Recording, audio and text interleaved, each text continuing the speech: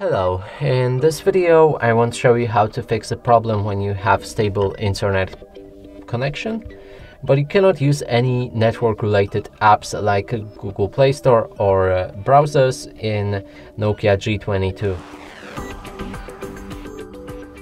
So let's start with Google Play Store and here if you try to install something like Call of Duty for example it changes into the pending mode and it's stuck like this forever. We can cancel it for now and move on to the browser. In this case, uh, we can select Edge.